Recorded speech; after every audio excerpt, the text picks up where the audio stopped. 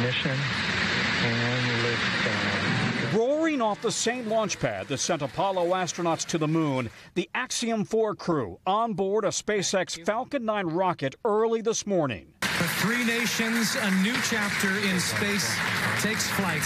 Godspeed AX4. The launch delayed by a week due to what NASA described as a leak that needed to be addressed on the space station's Russian module. The Axiom 4 astronauts include former NASA chief astronaut Peggy Whitson and three new astronauts from India, Poland, and Hungary.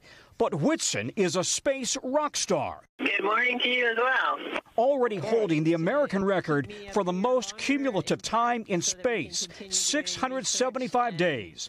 Commander of the space station twice with 10 spacewalks under her belt having seen Earth from the space shuttle, a Soyuz spaceship, a SpaceX Dragon, and the station. You never say never. I left NASA not ever expecting to fly in space again, and here, commercial space industry and Axiom Space has allowed me that opportunity uh, in just a few years from my retirement from NASA. So things are changing very quickly in space. Very quickly. This two week mission will focus on 60 scientific studies from around the world. But this is Axiom's ultimate goal to build the first commercial space station dedicated to making medical and science breakthroughs in microgravity.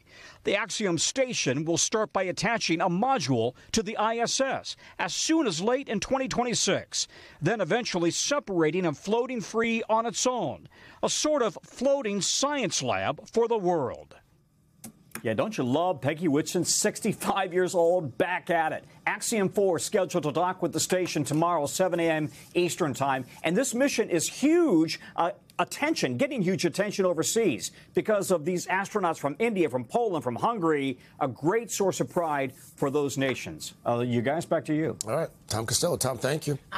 Hey, thanks for watching. And don't forget, you can catch the Today Show every morning on NBC or take Today when you're on the go. Just follow the Today podcast on Apple Podcasts, Spotify, or wherever you listen.